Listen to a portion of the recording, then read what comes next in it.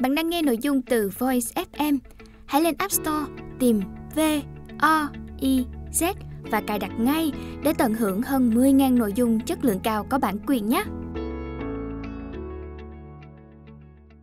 Nói First New Mời các bạn lắng nghe quyển sách Thực phẩm ngừa ung thư Tác giả, Tiến sĩ Richard Pelivo và tiến sĩ Dennis Changras Người dịch Nguyễn Mai Trung Hiệu đính Bác sĩ chuyên khoa 1 Phan Thịnh Giọng đọc Hồng Hà Lời mở đầu Sau hơn 40 năm được nghiên cứu chuyên sâu, bệnh ung thư vẫn là một sát thủ đầy bí ẩn, chịu trách nhiệm gây tử vong cho hàng triệu người mỗi năm. Và căn bệnh này vẫn đang là thử thách lớn đối với nền y học hiện đại. Hiện nay, ngoài một số ít bệnh ung thư đã được chữa trị với tỷ lệ thành công cao, thì nhiều bệnh ung thư khác vẫn còn rất khó chữa trị và là một trong những nguyên nhân gây tử vong hàng đầu. Hơn bao giờ hết, ngay lúc này, việc khám phá ra những phương cách mới để gia tăng hiệu quả điều trị bệnh là điều hết sức quan trọng. Mục đích của cuốn sách này là trình bày tóm tắt những nghiên cứu khoa học mới nhất, khẳng định rằng một số bệnh ung thư có thể được phòng tránh bằng cách thay đổi thói quen ăn uống. Thiên nhiên đã cung cấp cho con người các loại thực phẩm giàu các phân tử có tính năng chống ung thư mạnh, có khả năng kiểm soát bệnh mà không gây ra tác dụng phụ nguy hại nào. Thậm chí một số thực phẩm sở hữu được tính ngang với dược tính của các loại thuốc điều trị tổng hợp. Dưỡng dược là tên gọi đúng để mô tả về các loại thực phẩm thần kỳ này. Chúng ta có thể thu nhận các hợp chất chống ung thư này một cách dễ dàng từ nguồn thực phẩm tự nhiên, bổ trợ cho phương pháp điều trị bệnh đang được áp dụng. Risak Belevo và Dennis Chandras Phần 1 Ung thư Kẻ thù tiềm ẩn Chương 1 Ung thư như một lời nguyền. Thực phẩm ngừa ung thư. Tác giả, tiến sĩ Richard Belevo và tiến sĩ Dennis Changras. Người dịch Nguyễn Mai Trung. Hiệu đính, Bác sĩ chuyên khoa 1 Phan Thịnh. Giọng đọc Hồng Hà. Bạn đang nghe sách nói tại Voice. Thư viện sách nói First New Chương 1 Ung thư như một lời nguyền. Bạn đang nghe sách nói tại Voice. Thư viện sách nói First New. Phần 1 Ung thư, kẻ thù tiềm ẩn.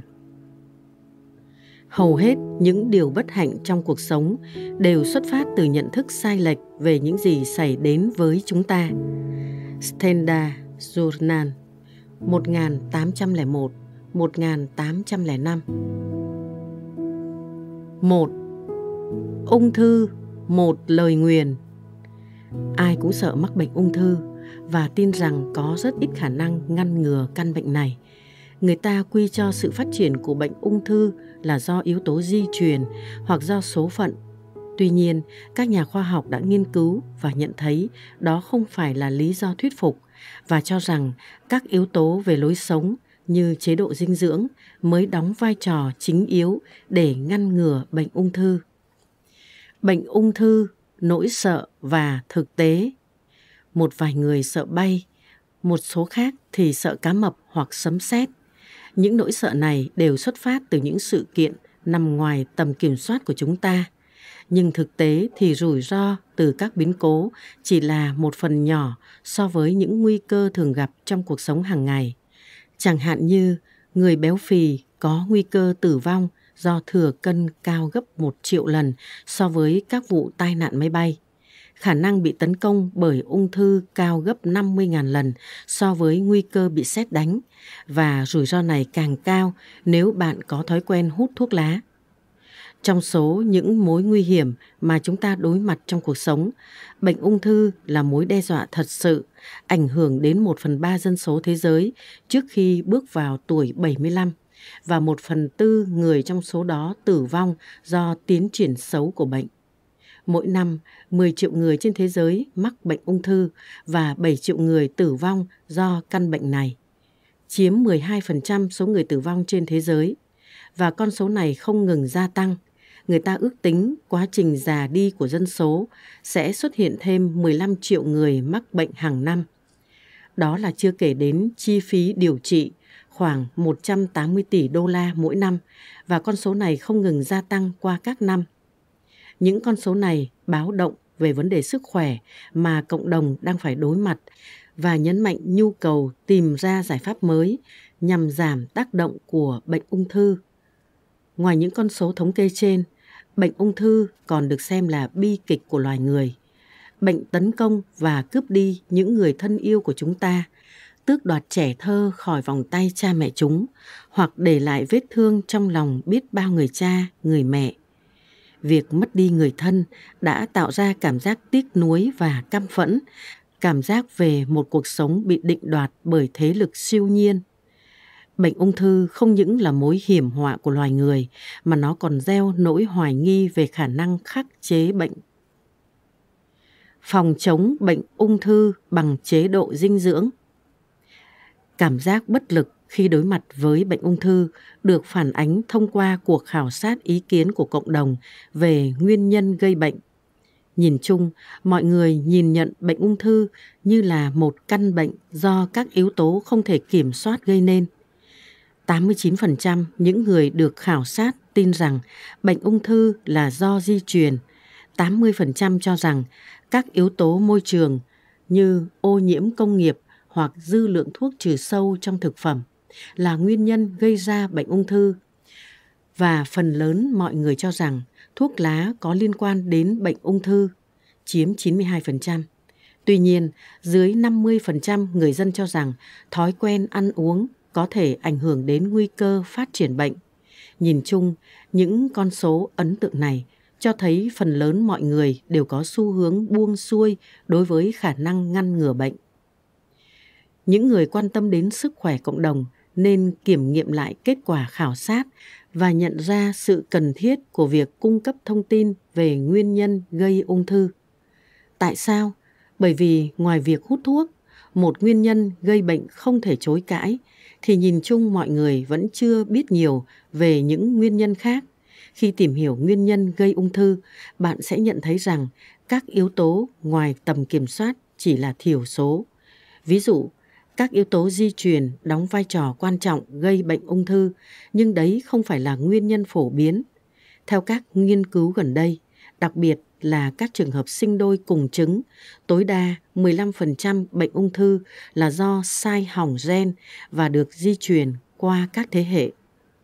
Chúng ta có thể nhận thấy nhiều tác hại từ các yếu tố có liên quan đến môi trường, nhưng sự ô nhiễm không khí tác động nhiều đến sự cân bằng hệ sinh thái hơn là tác động đến bệnh ung thư. Cũng như đối với dư lượng thuốc trừ sâu trong rau củ quả, chưa có nghiên cứu cho thấy các chất này có thể gây bệnh ung thư với một dư lượng nhỏ. Ngược lại, qua cuốn sách này, việc ăn nhiều rau củ quả ngày càng được xem là giải pháp giảm nguy cơ phát triển bệnh ung thư. Nhìn chung, các yếu tố ngoài tầm kiểm soát như di truyền, môi trường và virus chiếm khoảng 30% nguyên nhân gây bệnh ung thư. Trong khi đó, nhiều yếu tố liên quan đến lối sống như hút thuốc, ít vận động, béo phì và thói quen ăn uống cũng như sử dụng rượu và chất gây nghiện chiếm đến 70% nguyên nhân trực tiếp gây bệnh. Thật quan trọng để nghi ngờ nhận thức sai lệch của chúng ta về nguyên nhân gây bệnh ung thư Điều này giúp chúng ta đối mặt với những định kiến về căn bệnh và nhìn nhận vấn đề ở góc độ mới. Nếu 2 phần 3 trường hợp mắc bệnh là do các yếu tố nằm ngoài di truyền và có liên quan đến lối sống, liệu chúng ta có tránh khỏi bằng cách thay đổi lối sống? Bản đồ ung thư trên thế giới Ảnh hưởng của lối sống đối với việc phát triển bệnh ung thư được minh họa sinh động qua nghiên cứu về số trường hợp mắc bệnh ung thư trên thế giới. Bệnh ung thư dường như không phân bố đều trên thế giới. Theo thống kê mới nhất của Tổ chức Y tế Thế giới WHO, các quốc gia mắc bệnh ung thư cao nhất thuộc khu vực Đông Á như Hungary và Cộng hòa Séc, với 300 đến 400 trường hợp trong 100.000 dân, tương đương với các quốc gia công nghiệp hóa phương Tây như Mỹ và Canada với 260 trường hợp trên 100.000 dân. Trong khi đó, các quốc gia thuộc khu vực Đông và Nam Á như Ấn Độ, Thái Lan thì chiếm tỷ lệ thấp hơn với khoảng 100 trường hợp trên 100.000 dân. Ngoại trừ ung thư phổi phân bố rộng khắp trên thế giới do tác hại của thuốc lá, những bệnh ung thư phổ biến nhất ở các quốc gia công nghiệp hóa phương Tây khác với các quốc gia châu Á. Ở Mỹ và Canada, các bệnh ung thư phổ biến đứng sau ung thư phổi là ung thư trực tràng, ung thư vú, ung thư tuyến tiền liệt. Trong khi đó, tần suất mắc các bệnh ung thư này ở châu Á thấp hơn nhiều so với ung thư dạ dày, ung thư thực quản và ung thư gan. Mức chênh lệch giữa phương Đông và phương Tây đang ngày càng lớn. Chẳng hạn như ở Mỹ, cứ 100.000 phụ nữ thì có 100 người mắc bệnh ung thư vú. Con số này ở Thái Lan là 8 người. Tương tự như ung thư đại tràng, trong khi ở khu vực Bắc Mỹ, tỷ lệ mắc bệnh ung thư đại tràng là 50 trên 100 ngàn dân, thì ở Thái Lan là 8 trên 100 ngàn dân. Đối với ung thư tuyến tiền liệt, một sát thủ ghê gớm khác trong xã hội phương Tây, tỷ lệ nam giới mắc bệnh cao gấp 10 lần so với nam giới Nhật Bản và gấp 100 lần so với nam giới Thái Lan. Sự đa dạng của các loại bệnh ung thư không hoàn toàn do di truyền ngẫu nhiên mà bệnh có mối liên hệ mật thiết với lối sống. Nghiên cứu sau đây cho thấy bệnh ung thư ảnh hưởng đến người Nhật và người Nhật di cư như thế nào. Ví dụ, trong khi ung thư tuyến tiền liệt ít được biết đến tại Nhật, thì tần suất người Nhật ở Hawaii mắc bệnh này cao gấp 10 lần, tương đương với mức của người dân bản địa. Ngược lại, bệnh ung thư dạ dày do nhiễm khuẩn Helicobacter pylori chiếm tỷ lệ cao đối với người dân Nhật, nhưng lại giảm đối với người Nhật di cư và cũng bắt đầu tiệm cận với mức của người Hawaii bản địa. Hiện tượng tương tự cũng được quan sát ở phụ nữ Nhật. Tỷ lệ phụ nữ Nhật mắc bệnh ung thư vú và ung thư tử cung gia tăng khi họ thay đổi lối sống sang định cư ở các nước phương Tây. Sau đây là một ví dụ khác thể hiện sự khác biệt về tỷ lệ mắc bệnh ung thư ở người Mỹ gốc Phi và người Nigeria.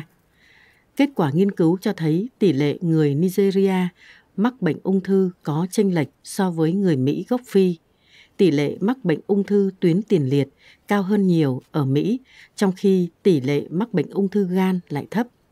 Tỷ lệ người mắc bệnh ung thư gan nguyên phát mà nguyên nhân hàng đầu là virus hepatitis cao hơn nhiều ở châu Phi và trở nên phổ biến. Tuy nhiên, tỷ lệ bệnh ung thư này ở người Mỹ gốc Phi gần như tương đương với người Mỹ gốc Âu và hoàn toàn thấp so với người châu Phi bản địa. Đây là bằng chứng xác thực chứng minh hầu hết các bệnh ung thư không do yếu tố di truyền mà chính lối sống đóng vai trò quan trọng cho sự phát triển của bệnh này sự thay đổi lối sống có ảnh hưởng nghiêm trọng đến sức khỏe của người dân di cư, đặc biệt là gia tăng tỷ lệ mắc bệnh ung thư. Tất cả các nghiên cứu đã xác định thủ phạm đó là việc từ bỏ chế độ dinh dưỡng truyền thống cùng với việc nhanh chóng hòa nhập với thói quen ăn uống của vùng đất mới. Trong hai trường hợp đã mô tả, các thay đổi đều diễn ra một cách đột ngột. Người Nhật di cư vào phương Tây đã bỏ lại sau lưng thói quen dinh dưỡng truyền thống, chế độ dinh dưỡng giàu carbohydrate, rau củ quả và ít chất béo được thay bằng chế độ dinh dưỡng chứa một lượng lớn protein và mỡ động vật. Thật ra, bên cạnh yếu tố nhập ra tùy tục của người di cư, thói quen ăn uống của người Nhật trong 50 năm qua đã có những thay đổi lớn. Ví dụ, 40 năm trước, người Nhật ít ăn thịt nhưng lượng thịt tiêu thụ đã tăng gấp 7 lần trong những năm gần đây và tỷ lệ người Nhật mắc bệnh ung thư đại tràng hiện tại cao gấp 5 lần, sấp xỉ với các nước phương Tây. Mặc dù chỉ là một báo động nhỏ, nhưng thật đáng để xem xét lại việc hòa nhập với thói quen ăn uống và lối sống phương Tây. Tác động của chế độ dinh dưỡng đối với bệnh ung thư Hiện nay, ước tính có 30% bệnh ung thư liên quan trực tiếp đến chế độ dinh dưỡng. Tỷ lệ cao này có thể làm chúng ta ngạc nhiên vì thực phẩm chúng ta sử dụng hàng ngày lại trở thành yếu tố rủi ro cho sức khỏe. Vậy cái gì trong chế độ dinh dưỡng đã dẫn đến nguy cơ phát triển của phần lớn bệnh ung thư? Các nghiên cứu dịch tễ học gần đây đã thành công trong việc tìm ra mối liên hệ giữa chế độ dinh dưỡng, thiếu rau củ quả với sự gia tăng tỷ lệ mắc một số bệnh ung thư. Trên 200 nghiên cứu đã cho kết quả ấn tượng. 80% trường hợp sử dụng rau củ quả giảm đáng kể nguy cơ phát triển bệnh ung thư. Kết quả này đặc biệt đáng chú ý đối với các bệnh ung thư hệ tiêu hóa. Nhìn chung, những người ít ăn rau củ quả nhất có thể mắc bệnh ung thư cao gấp 2 lần so với những người ăn nhiều hơn. Chế độ dinh dưỡng của xã hội phương Tây, cụ thể là vùng Bắc Mỹ, sử dụng rất hạn chế rau củ quả, góp phần dẫn đến tỷ lệ ung thư cao như hiện nay. Đây là lý do vì sao các tài liệu về sức khỏe cộng đồng ở Bắc Mỹ và châu Âu như tháp dinh dưỡng của cơ quan quản lý dược và thực phẩm Mỹ FDA khuyên mọi người cần dùng ít nhất 5 phần rau củ quả mỗi ngày như là một phương pháp ăn uống cân bằng và đa dạng để duy trì sức khỏe. Sự khác biệt giữa phương Đông và phương Tây để hiểu rõ cách chế độ dinh dưỡng tạo nên sự khác biệt về tỷ lệ mắc bệnh ung thư ở phương Đông và phương Tây. Trước hết, chúng ta phải lưu ý rằng hai nền văn hóa này có nhận thức hoàn toàn trái ngược nhau về vai trò của thực phẩm. Ở phương Tây, thực phẩm được xem là nguồn cung cấp năng lượng cần thiết cho sự tồn tại. Do vậy, thực phẩm phải giàu năng lượng và vitamin. Tuy nhiên, ở châu Á, chế độ dinh dưỡng luôn gắn liền với việc duy trì sức khỏe. Thức ăn cần thiết cho nhu cầu cơ thể cho nên không phương hại đến trạng thái cân bằng tinh thần và thể chất. Vì nhu cầu năng lượng là mục tiêu chính của chế độ dinh dưỡng phương Tây, do đó chúng ta không quá ngạc nhiên khi mà họ ăn nhiều chất đạm và mỡ động vật như thịt đỏ và các sản phẩm từ sữa. Trong khi các loại thực phẩm chứa ít năng lượng như rau củ quả thì ít được chú trọng. Ở phương Đông, người dân ăn đa dạng các loại rau củ quả.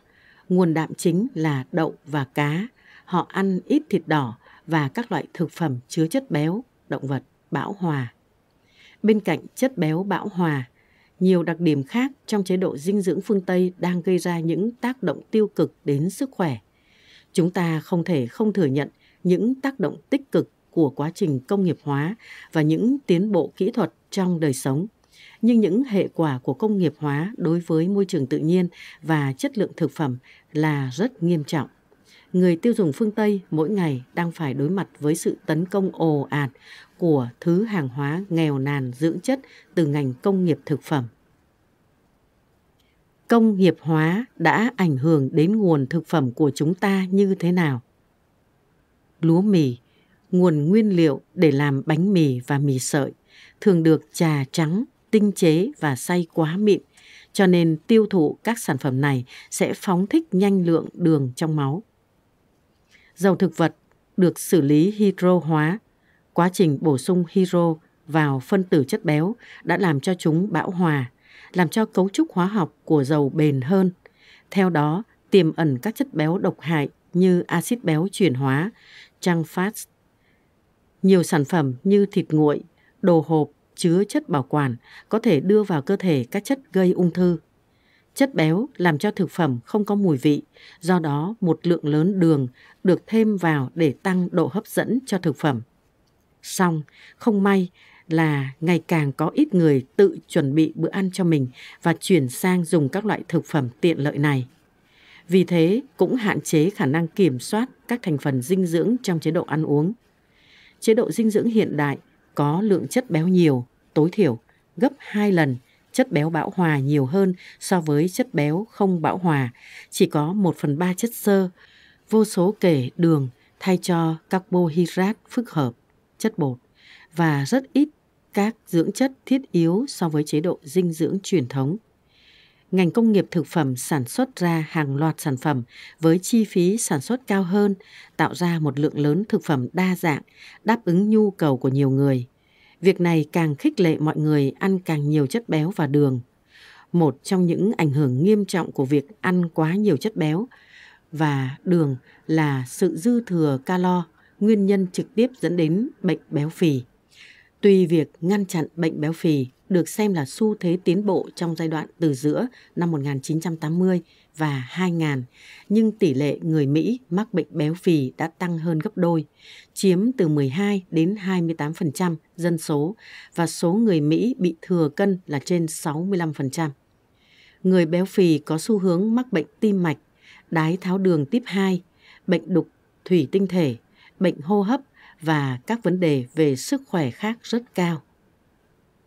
Béo phì và ung thư Mặc dù các phương tiện truyền thông đã phổ biến các vấn đề liên quan đến bệnh béo phì cho mọi người, nhưng có rất ít người nhận thức được bản chất của bệnh và xem đây là yếu tố nguy cơ nhất gây ra bệnh ung thư.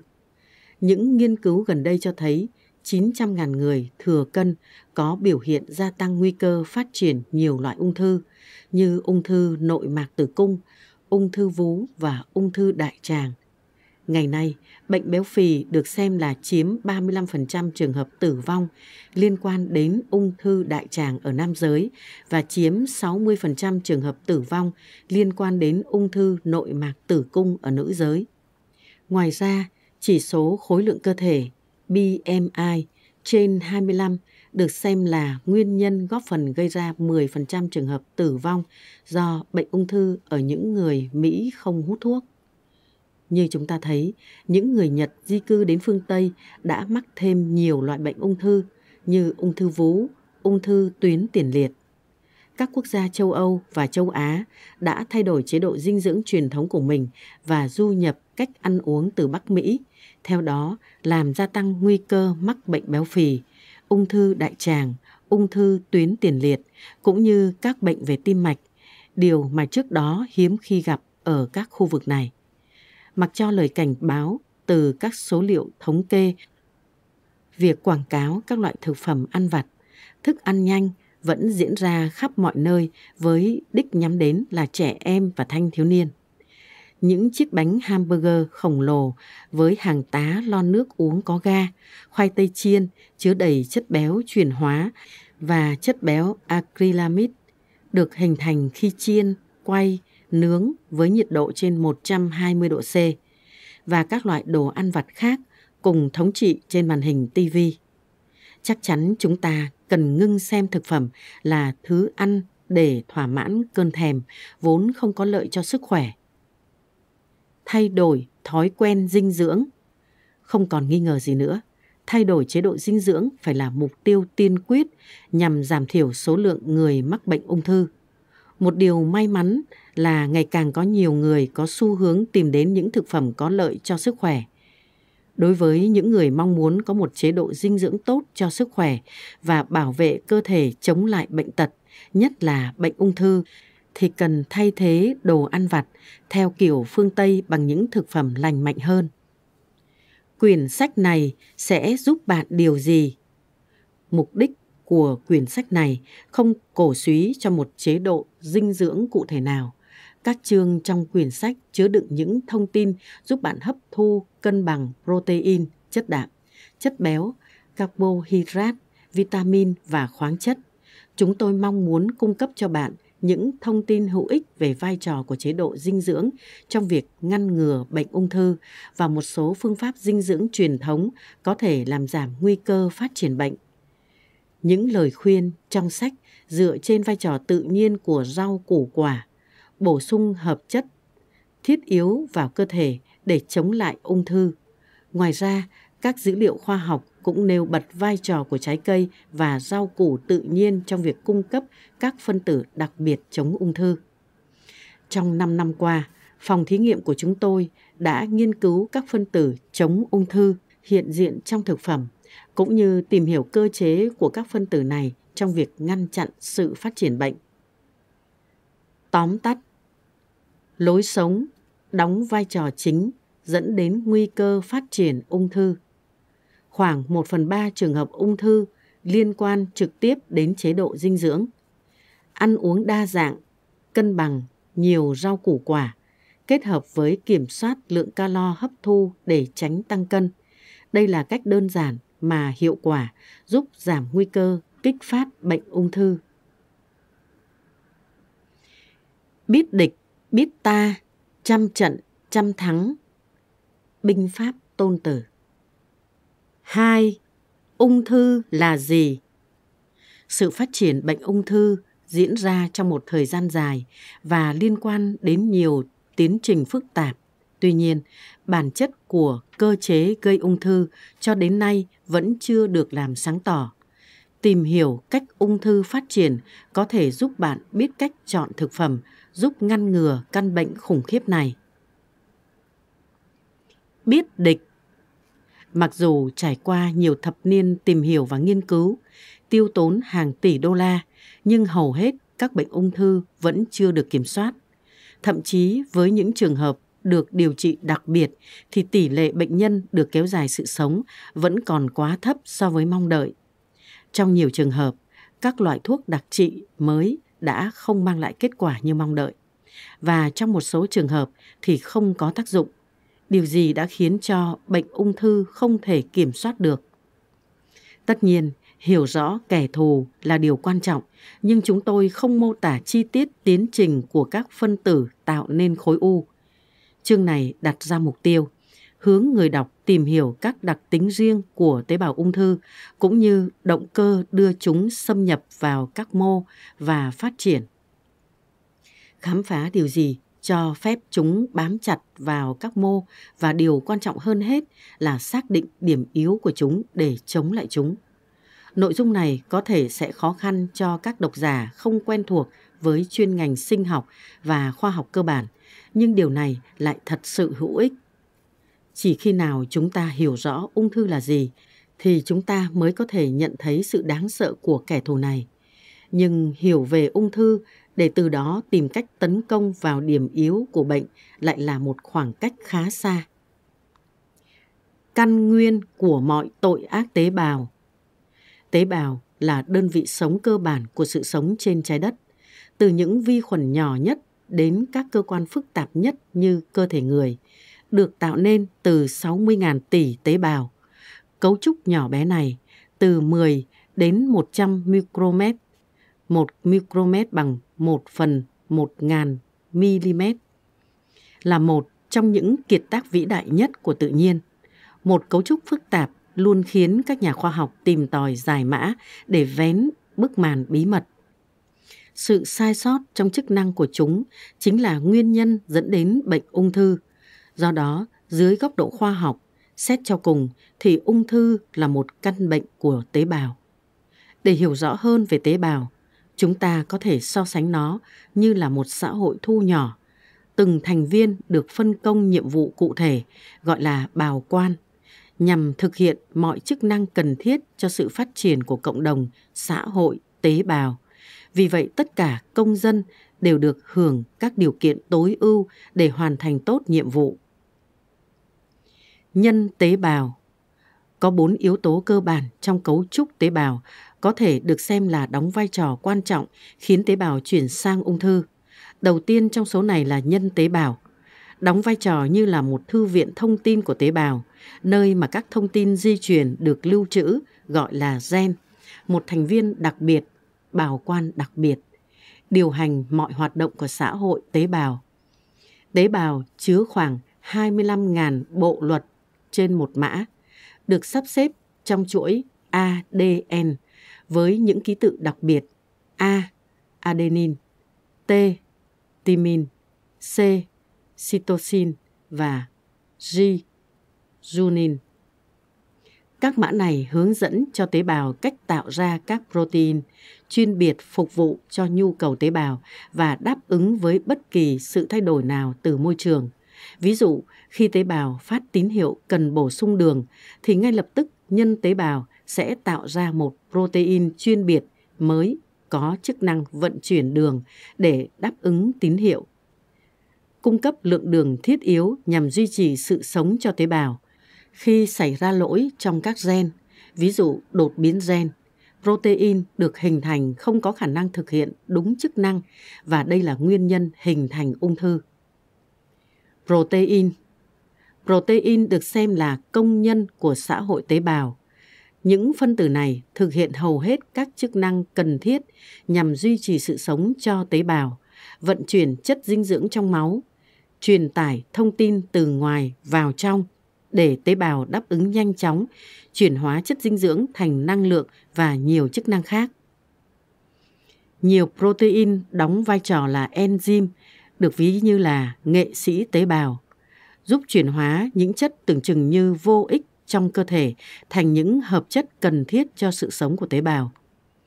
Một vài enzyme giúp cho tế bào thích ứng nhanh chóng với bất kỳ thay đổi nào của môi trường bằng cách biến đổi chức năng của các protein khác. Điều quan trọng là việc đọc các mã thông tin để sản xuất ra enzyme phải đảm bảo chính xác. Sai sót trong quá trình đọc mã thông tin có thể tạo ra các protein không có hoạt tính, bất hoạt để thực hiện công việc của chúng hoặc thực hiện chức năng không phù hợp với nhu cầu của tế bào. Ung thư luôn được hình thành từ những sai sót trong việc sản xuất protein, nhất là quá trình sản xuất enzyme. Ti thể, nhà máy cung cấp năng lượng cho tế bào. Ti thể là nhà máy cung cấp năng lượng cho xã hội tế bào và được xem là một trung tâm năng lượng.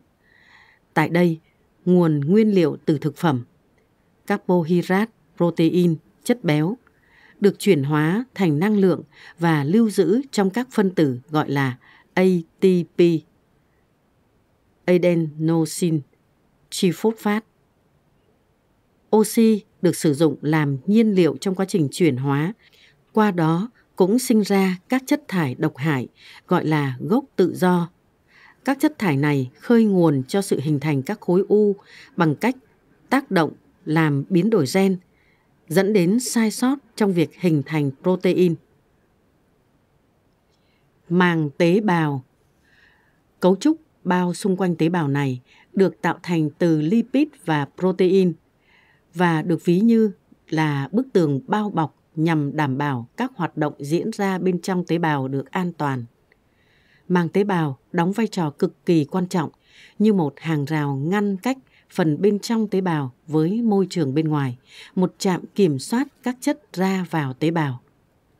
Màng tế bào còn chứa một số protein đóng vai trò tiếp nhận hay còn gọi là thụ thể, giúp phát hiện các tín hiệu hóa học hiện diện trong máu và truyền thông tin đã được giải mã đến tế bào nhằm giúp tế bào phản ứng lại trước những thay đổi của môi trường. Đây được xem là chức năng chính của màng tế bào, khi việc tiếp nhận thông tin về những gì diễn ra bên ngoài tế bào không còn nữa thì chức năng sản sinh và ứng phó của tế bào cũng mất đi. Theo đó, việc lan truyền tín hiệu ứng phó đến các tế bào lân cận bị gián đoạn. Điều này được xem là nguy hiểm cho tế bào và có thể dẫn đến ung thư. Sự phối hợp thực hiện nhiệm vụ của các tế bào. Vậy điều gì đã đẩy tế bào đến bờ vực hình thành ung thư. Ung thư sinh ra do sự tăng sinh các tế bào tăng trưởng quá mức và mất kiểm soát, nhưng yếu tố thúc đẩy sự phát triển quá mức này vẫn còn là điều bí ẩn và câu trả lời phải được truy tìm từ giai đoạn sơ khai của tế bào. Tế bào con người tồn tại ngày nay là kết quả tiến hóa của tế bào sơ khai xuất hiện trên trái đất cách đây 3,5 tỷ năm thời kỳ mà tế bào trông giống các loài vi khuẩn hơn là tế bào con người bây giờ. Trải qua một thời kỳ dài, tế bào tổ tiên đã dần thích nghi với những thay đổi lớn của môi trường. Tia cực tím, thay đổi hàm lượng oxy trong không khí và nhiều thay đổi khác. Điều này buộc tế bào tổ tiên phải có những biến đổi hợp lý để tồn tại. Khả năng thích nghi của tế bào xuất phát từ khả năng biến đổi gen – cho phép chúng sản sinh protein mới một cách hiệu quả hơn nhằm ứng phó với sự thay đổi của môi trường. Chúng ta cần hiểu rằng gen, một kho dữ liệu mà di truyền không thể thay thế được ngay khi tế bào phát tín hiệu cần biến đổi một đoạn mã có chứa điểm thắt nút trên gen do ảnh hưởng của tác nhân bên trong hoặc bên ngoài tế bào. Quá trình tháo xoắn của ADN diễn ra không hoàn toàn thì quá trình tạo ra đoạn gen mới diễn ra bằng cách sao chép chồng lên điểm thắt nút. Điều này gây ra sự đột biến, Khả năng gây đột biến gen là một đặc điểm cần thiết cho sự sống tế bào, giúp tế bào tồn tại. Nguồn gốc của các cơ thể đa bào Khoảng 600 triệu năm trước, tế bào đã thực hiện một quyết định vĩ đại trong lịch sử tiến hóa, đó là sống cộng sinh. Theo đó, làm xuất hiện dạng đa bào sơ khai đầu tiên. Đây là một sự kiện nền tảng trong ý thức của tế bào, vì sự cộng sinh có ý nghĩa quyết định sự sinh tồn của từng tế bào riêng biệt. Việc tìm cách biến đổi để thích nghi tốt hơn với sự thay đổi môi trường không hiệu quả bằng việc cộng sinh với tế bào khác. Mặt khác, các tế bào riêng biệt dần thích nghi bằng cách phát tín hiệu sẵn sàng sao chép gen lẫn nhau. Những thay đổi mang ý nghĩa tiến hóa này vẫn được duy trì vì chúng mang đến nhiều thuận lợi. Điều quan trọng nhất là giờ đây các tế bào khác nhau có thể tham gia vào sự phân công lao động. Các tế bào được phân công nhiệm vụ để tương tác tốt hơn với môi trường. Ví dụ, tế bào sơ khai phát triển tính nhạy bén trong việc xác định sự hiện diện của chất dinh dưỡng ngay trong môi trường sống của chúng. Trong khi một số tế bào đặc thù được phân công tiêu hóa thức ăn để cung cấp năng lượng cho các tế bào khác. Để tiến đến giai đoạn chuyên môn hóa này, các tế bào đã biến đổi gen của chính mình để có thể hình thành nhiều loại protein mới nhằm cải thiện các chức năng hiệu quả hơn và học cách sống cùng nhau. Khả năng thích nghi này được xem là điều cơ bản của sự tiến hóa. Nhưng đối với các cơ thể đa bào, sự thích nghi này phải đem lại lợi ích cho tập thể chứ không riêng cho từng tế bào đơn lẻ. Trong cơ thể con người, sự chuyên biệt hóa tế bào đã đạt đến đỉnh cao. Thật vậy, chúng ta khó có thể hình dung rằng tế bào biểu mô có thể liên quan đến tế bào thận hoặc tế bào cơ có liên quan đến tế bào thần kinh. Hiện tượng này được gọi là sự biệt hóa tế bào. Việc duy trì sự biệt hóa tế bào là chức năng tối ưu của các cơ quan. Nếu bỗng nhiên tế bào thần kinh thực hiện chức năng của tế bào da và ngừng truyền tín hiệu thần kinh, thì cả hệ thống sẽ bị tê liệt. Điều này luôn luôn đúng với bất kỳ tế bào nào trong các cơ quan. Mỗi loại tế bào phải đảm nhiệm một nhiệm vụ được phân công để phối hợp nhịp nhàng với các tế bào ở các cơ quan khác. Nếu chúng ta biết trong cơ thể con người chứa 60.000 tỷ tế bào đều phải lắng nghe nhau thì chúng ta có thể kinh ngạc trước cấu trúc phức tạp này. Xu hướng tự hủy của tế bào Cơ thể hoạt động theo một chương trình được lập trình chặt chẽ và chi tiết. Các tế bào không còn chức năng hoặc bị sai hỏng sẽ bị thải loại. Cơ chế tự hủy, apoptosis, cho phép các cơ quan tiêu hủy các tế bào để làm sạch mà không ảnh hưởng đến các tế bào xung quanh hoặc các vùng bị viêm nhiễm trong mô. Đây là một hiện tượng cần thiết trong hoạt động sống của cơ thể. Sự phát triển phôi, chấm dứt hoạt động của các tế bào có chức năng miễn dịch kém và tiêu hủy tế bào có ADN bị sai hỏng. Đây là một đặc tính quan trọng cần biết để tìm cách khắc chế bệnh ung thư. Khi tế bào nổi loạn, tế bào được xem là một xã hội thu nhỏ và là sự tổng hòa của nhiều đơn vị chức năng. Một tế bào bị mất kiểm soát sẽ dẫn đến mất kiểm soát hàng loạt tế bào liên quan. Khi một tế bào bị tấn công bởi các tác nhân bên ngoài như các chất gây ung thư, virus hoặc sự hiện diện quá nhiều gốc tự do, nhân của tế bào sẽ bị tổn thương, nhất là ADN. Tổn thương ADN là nguyên nhân hình thành gen đột biến trong quá trình sao chép thông tin di truyền. Không may là sự tấn công này thường xuyên diễn ra. Những tế bào tổn thương trở nên mất kiểm soát và không thực hiện đúng chức năng đã được chuyên biệt hóa. Điều thú vị là các cơ quan trong cơ thể luôn thực hiện cơ chế ngăn chặn các tế bào bị sai hỏng, kiểm soát chặt chẽ bằng cách thiết lập những nguyên tắc nhằm đảm bảo các mã di truyền được dịch mã một cách chính xác. Điều này cho phép tiêu hủy nhanh chóng bất kỳ tế bào mất kiểm soát nào nhằm duy trì chức năng sống của cơ thể.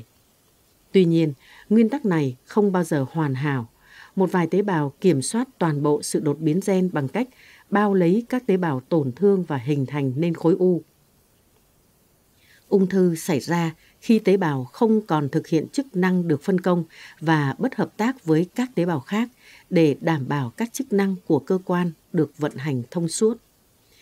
Tế bào sai hỏng bị cô lập khỏi các tế bào khác và không thực hiện các chức năng được phân công trong hệ thống tế bào. Nhưng các tế bào mất kiểm soát vẫn thừa hưởng bản năng sinh tồn mãnh liệt vốn có từ tế bào thủy tổ.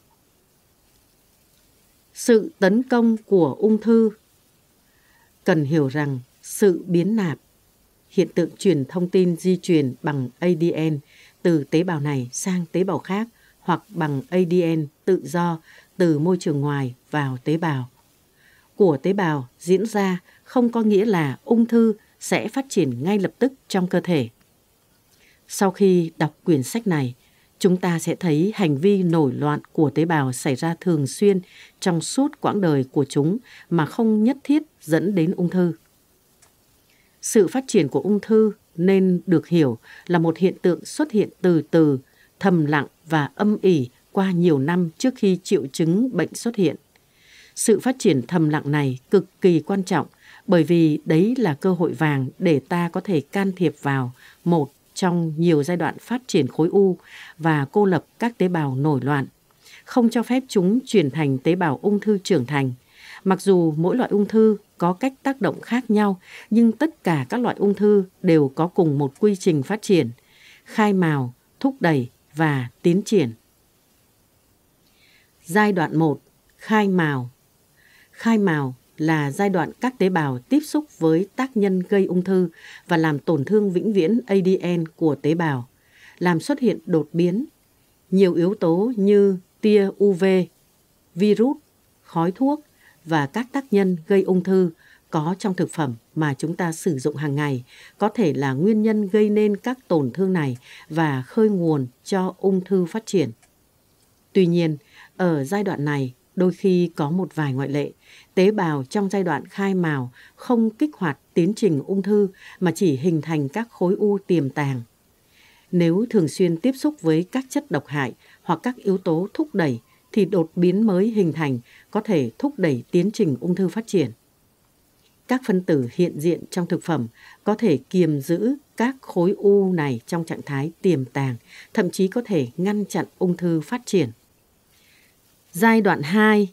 Thúc đẩy Trong suốt giai đoạn này, tế bào khởi sự đã bỏ qua hai nguyên tắc được đề cập ở trên và đạt tới ngưỡng tế bào biến nạp, hiện tượng truyền thông tin di truyền bằng ADN từ tế bào này sang tế bào khác hoặc từ ADN tự do từ môi trường ngoài vào tế bào.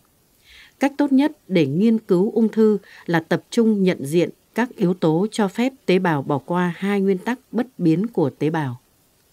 Để bỏ qua nguyên tắc thứ nhất, tế bào ung thư phải sản sinh ra một lượng lớn protein nhằm cho phép tế bào tăng trưởng một cách tự do mà không cần sự trợ giúp bên ngoài. Để phù hợp với tiến trình này, tế bào sẽ trở thành tế bào ung thư đã bỏ qua nguyên tắc thứ hai trên, tức là không kích hoạt cơ chế tự hủy của tế bào, apoptosis. Trong cả hai trường hợp, các đột biến đã khơi nguồn cho sự biến đổi chức năng protein, dẫn đến mất kiểm soát tăng trưởng tế bào. Tuy nhiên, đây là một giai đoạn không dễ dàng và diễn ra trong một thời gian dài, đôi khi lên đến 40 năm. Vì tế bào phải bị tác động đa đột biến mới có được những đặc tính cần thiết cho sự phát triển nổi loạn. Các nhân tố thúc đẩy tế bào mất kiểm soát và vượt ra khỏi hai nguyên tắc về hành vi tế bào được tìm hiểu một cách hạn chế đó có thể là do hormone hoặc các gốc tự do, tất cả đều có khả năng đóng vai trò chính trong giai đoạn này. Tuy nhiên, giai đoạn tăng trưởng có thể mở ra cơ hội để can thiệp và ngăn chặn sự phát triển ung thư vì hầu hết các nhân tố trên có thể được kiểm soát thông qua lối sống.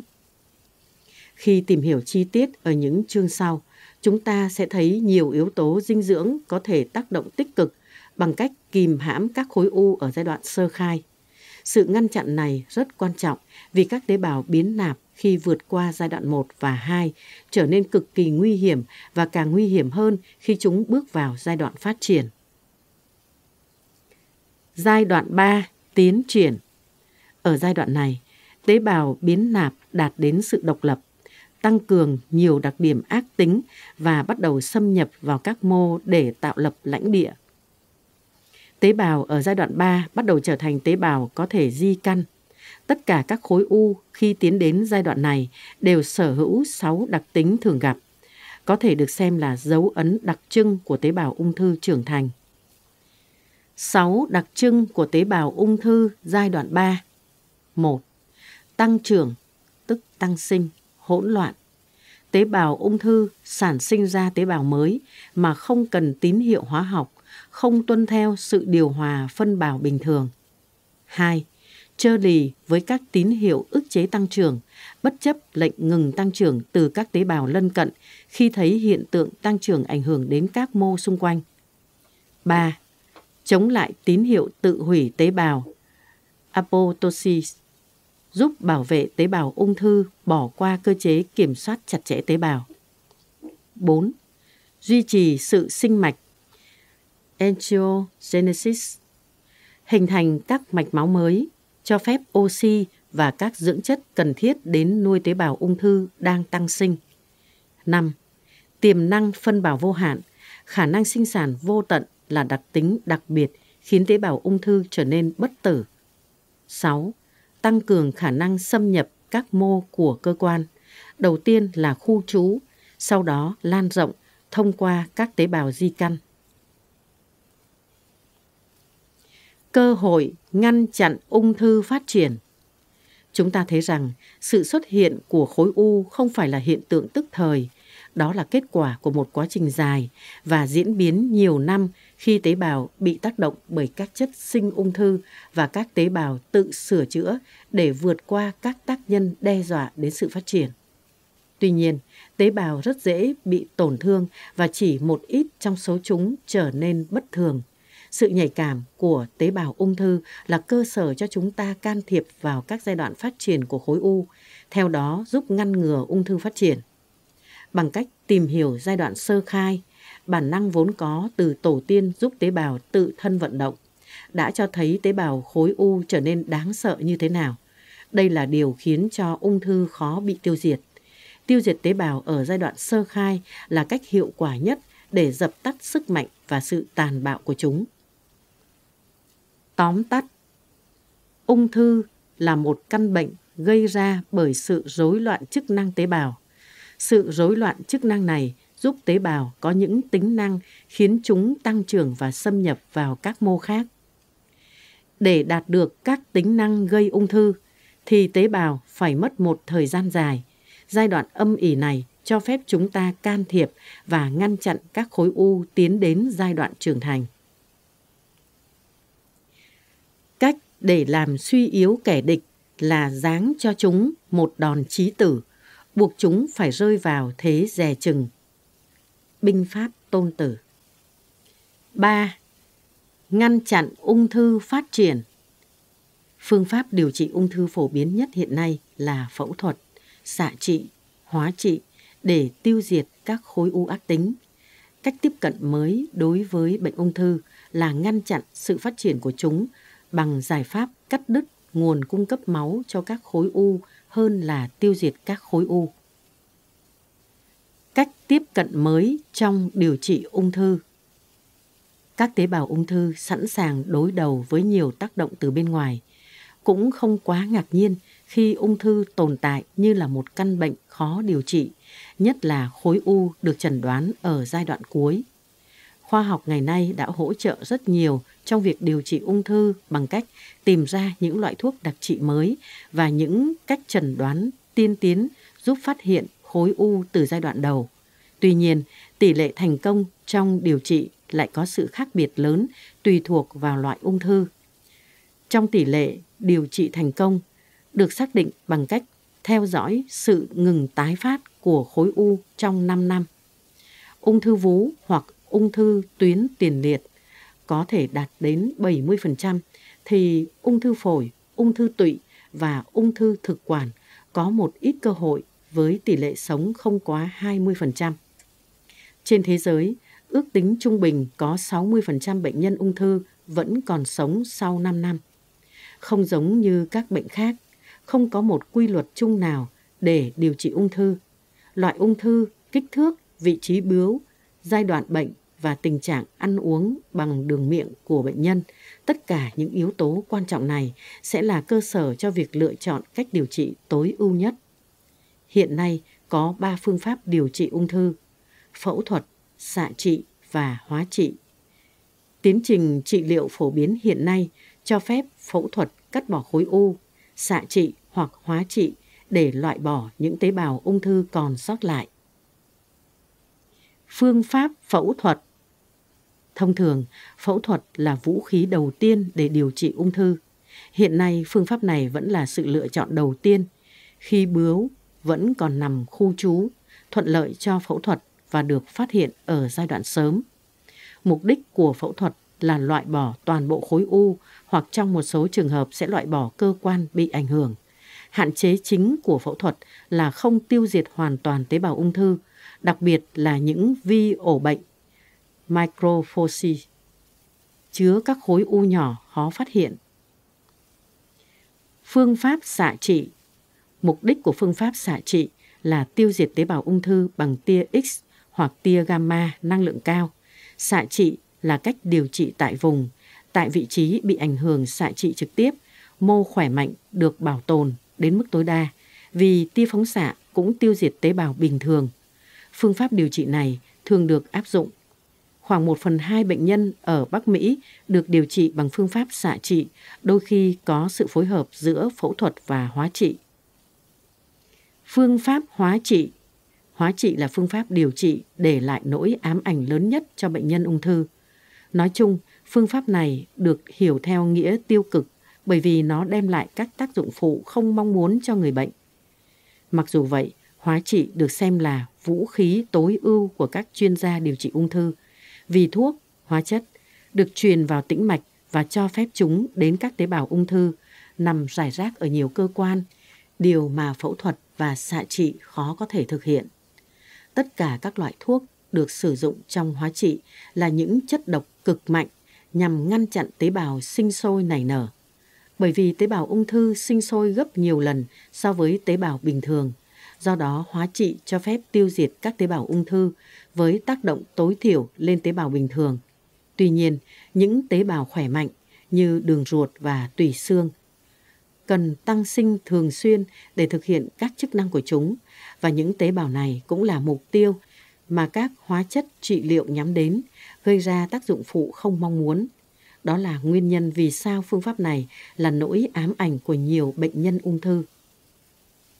Những hạn chế của các phương pháp điều trị hiện nay Mặc dù những phương pháp điều trị tiên tiến được áp dụng trong vài năm gần đây, nhưng phải thừa nhận rằng ung thư được xem là vấn đề sức khỏe hàng đầu và các phương tiện điều trị vẫn chưa mang lại hiệu quả cao. Hai nguyên nhân chính cho sự hạn chế này là tác dụng phụ. Một trong những nhược điểm lớn của hóa chất, hóa trị là độc tính của chúng đến các tế bào khỏe mạnh, gây ra nhiều tác dụng phụ. Ví dụ, làm suy giảm tế bào miễn dịch, bạch cầu và tiểu cầu, thiếu máu, các vấn đề về tiêu hóa, nôn ói, tổn thương niêm mạc ruột, tiêu chảy, rụng tóc, ngoài ra còn ảnh hưởng đến tim mạch, thận và các cơ quan khác. Quá trình điều trị bằng hóa chất thường bị gián đoạn do tác dụng phụ khắc nghiệt, do đó không xử lý triệt để các tế bào ung thư. Ngoài ra, thuốc, hóa chất sử dụng cho hóa trị có thể gây đột biến ADN của bệnh nhân, có thể gia tăng nguy cơ mắc các ung thư khác khi điều trị dài hạn. Sự kháng trị nếu chúng ta sử dụng phương pháp hóa trị để điều trị mọi loại ung thư, thậm chí không bận tâm đến các tác dụng phụ, thì giải pháp này chưa thật sự hợp lý vì một số loại ung thư không phù hợp với phương pháp này. Hóa chất trị liệu có thể gây độc tế bào ung thư, nhưng thực tế cho thấy việc điều trị ung thư phải đối mặt với trở ngại lớn nhất là sự đề kháng của cơ thể với hóa trị. Mặc dù vậy, nhìn chung đa số khối u đều giảm kích thước và số lượng khi bị tác động bởi hóa chất trị liệu. Tuy nhiên, một số khối u có thể trở lại qua thời gian. Sự tái phát này là vấn đề đáng lo ngại vì ung thư mới hình thành không những kháng trị với hóa chất cũ mà còn kháng trị với các thuốc hóa chất khác. Như đã đề cập ở phần trước, các tế bào ung thư hình thành khối bướu sẽ cực kỳ linh hoạt và có khả năng thích nghi với nhiều môi trường khắc nghiệt. Trong suốt quá trình hóa trị, các tế bào khối u hình thành cơ chế thích ứng với hóa chất trị liệu bằng cách tạo ra các protein, bơm các hóa chất trị liệu ra khỏi tế bào và ngăn chặn các hóa chất này tác động. Một cơ chế khác cũng được phát hiện đó là tế bào tự loại bỏ gen kích hoạt khả năng tự hủy khi thuốc xâm nhập vào tế bào. Trong tích tắc, hóa chất trị liệu đã tiêu diệt 99,9% tế bào ung thư, nhưng chỉ cần một tế bào sống sót cũng có thể dẫn đến hiện tượng kháng thuốc và hình thành nên khối u kháng thuốc mới nguy hiểm hơn khối u trước đó. Đừng quá ngạc nhiên khi các tế bào ung thư có khả năng thích ứng nhanh chóng. Cơ chế thích ứng này là đặc tính cơ bản của sự sống trên trái đất. Thậm chí, một số tế bào hình thành khả năng kháng thuốc do sự phát triển của vi khuẩn kháng kháng sinh. Cô lập khối u bằng cách cắt đứt nguồn máu tiếp tế. Đây có phải là điểm yếu của các tế bào khối u? Nhờ đó mà chúng ta có cơ hội để tiêu diệt chúng. Câu trả lời là đúng. Mặc dù chứa đựng một nguồn năng lượng dồi dào, khả năng linh hoạt cao và thích ứng nhanh chóng với điều kiện khắc nghiệt từ các tế bào lân cận, nhưng tế bào ung thư vẫn phụ thuộc vào nhu cầu năng lượng để duy trì sự sống cho chính nó. Để phát triển, khối u cần được cung cấp liên tục oxy và dưỡng chất. Và để đạt được hai loại nhiên liệu thiết yếu này, tế bào ung thư đã hình thành một chiến thuật hiệu quả. Ngay khi có tín hiệu thiếu hụt oxy và dưỡng chất, tế bào ung thư tiết chất hóa học vào mạng lưới tuần hoàn máu trong các mô xung quanh. Các tế bào nội mô phủ bên trong thành mạch máu, hiếm khi tăng sinh nhưng khi tiếp xúc với tín hiệu hóa học này, chúng dường như bừng tỉnh sau một giấc ngủ dài và bắt đầu tăng sinh với tốc độ điên cuồng, hình thành nên mạng lưới mao mạch nuôi khối u phát triển. Bằng cách này, các khối u được cung cấp oxy và dưỡng chất cho nhu cầu phát triển, xâm lấn các mô xung quanh. Hiện tượng hình thành mạch máu mới này nhằm đáp ứng nhu cầu năng lượng của các khối u, gọi là sự tăng sinh mạch. Angiogenesis, theo tiếng Hy Lạp, angio là mạch máu, genesis là sự hình thành.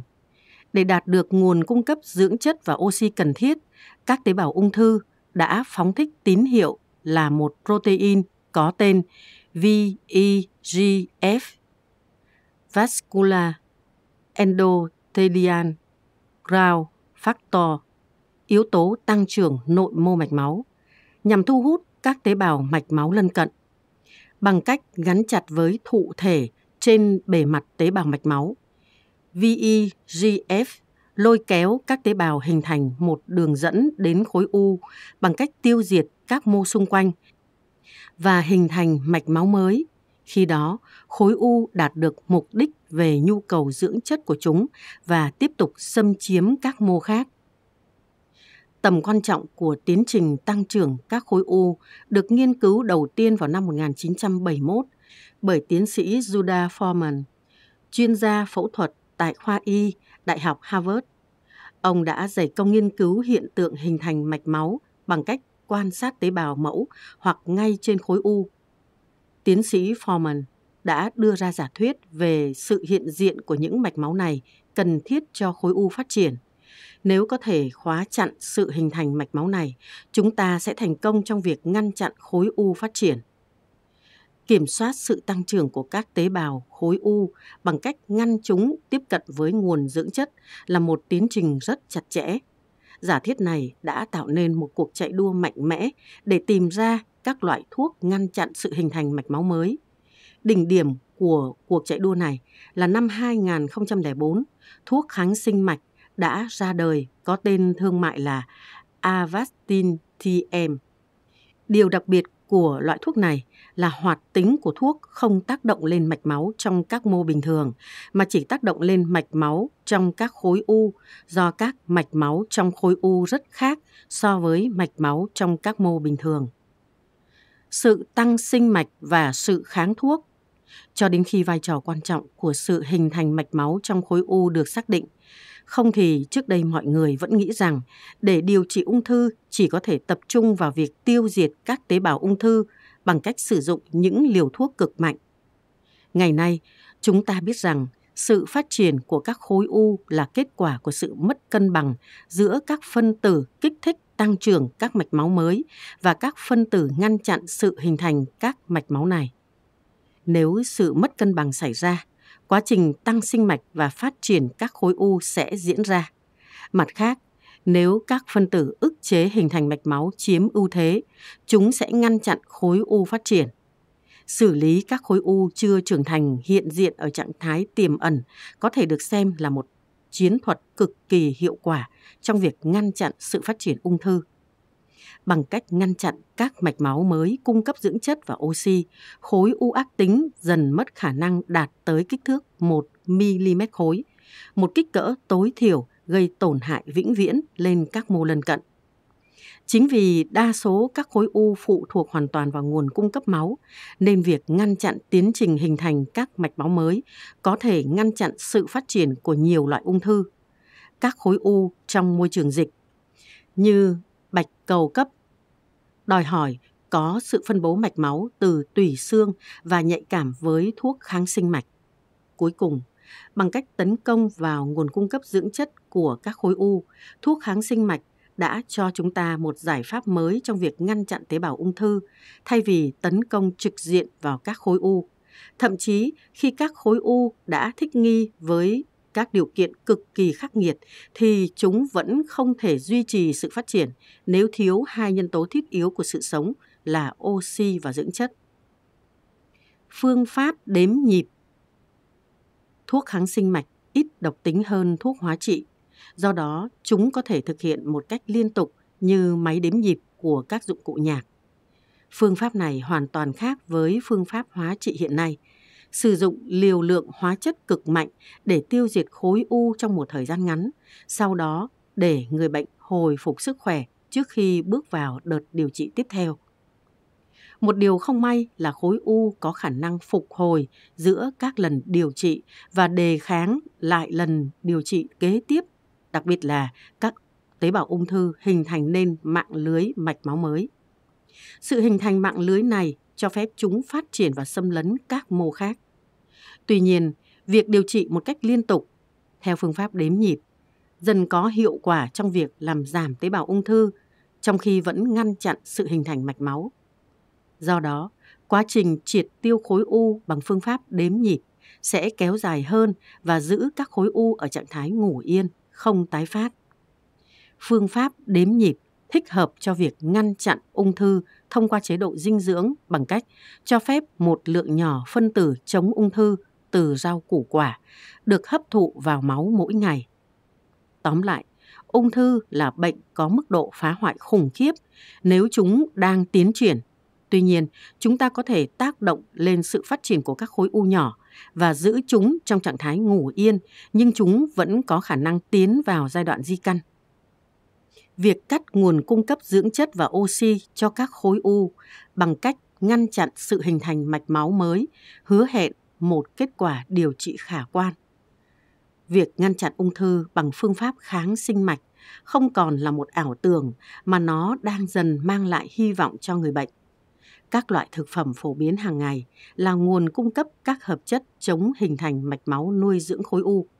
Theo đó, ung thư không còn được xem là căn bệnh trời kêu ai nấy dạ, mà nó trở thành một căn bệnh mãn tính, đòi hỏi phải điều trị liên tục. Tóm tắt Lựa chọn phương pháp điều trị ung thư thích hợp vì các tế bào ung thư có sự linh hoạt và thích nghi cho phép chúng né được việc trị liệu và tiếp tục phát triển. Các khối u luôn cần được cung cấp năng lượng và hình thành mạng lưới mạch máu mới để phát triển. Khóa chặn hoặc tiêu diệt các mạch máu mới có thể thực hiện với một liều lượng rất nhỏ chất kháng sinh mạch mỗi ngày, qua đó giúp ngăn chặn khối u tiến triển. Các chất chống hình thành mạch có thể thu nhận từ trái cây và rau củ. Hãy xem thực phẩm như thuốc hãy dùng thực phẩm như thuốc. Hippocrates 460 đến 377 trước công nguyên. Thực phẩm ngăn ngừa ung thư chế độ dinh dưỡng của loài người đã có sự tiến hóa hàng ngàn năm qua với những thực phẩm có lợi nhất cho sức khỏe. Nhưng thời gian gần đây, chúng ta lại quan tâm tới chế độ dinh dưỡng chứa nguồn dưỡng chất thiết yếu, một chế độ dinh dưỡng giàu trái cây, rau củ và các thực phẩm quan trọng khác có khả năng ngăn chặn ung thư. Tỷ lệ người mắc bệnh ung thư tăng cao có thể là do đặc tính của chế độ dinh dưỡng phương Tây, mất cân bằng giữa nhu cầu năng lượng và lợi ích sức khỏe. Hiện nay, con người không còn chú ý nhiều đến thành phần dinh dưỡng hoặc độc tố của thực vật, hoặc sử dụng những loại thực phẩm đặc biệt để trị liệu. Những kiến thức này là kết quả tìm tòi lâu dài trong suốt lịch sử tiến hóa của loài người để xác định giá trị và đặc tính của các loại thực phẩm hiện diện trong đời sống hàng ngày. Những thứ mà chúng ta gọi là rau củ quả là kết quả của quá trình chọn lọc tự nhiên trong suốt 15 triệu năm qua. Quãng thời gian mà tổ tiên chúng ta phải thích nghi với những thay đổi từ môi trường sống và tìm kiếm nguồn thực phẩm mới để có thể sống sót, duy trì sự tồn tại của giống loài.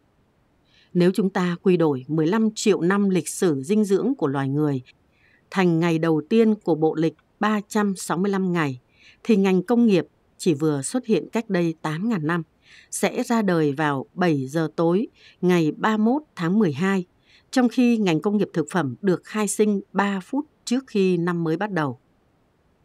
Cách loài người lựa chọn thức ăn Quá trình tiến hóa trong việc chọn lọc thức ăn có thể chia làm 3 giai đoạn chính. Trong suốt giai đoạn đầu, còn gọi là giai đoạn mò mẫm các độc chất loài người tiến hành nhiều thử nghiệm và rút kinh nghiệm từ những sai sót để đưa ra quyết định loại thức ăn nào nên ăn và loại nào không nên ăn. Đây là một công việc phiêu lưu, mạo hiểm. Cái giá phải trả cho quá trình thử nghiệm này là bị ngộ độc thức ăn và có thể tử vong.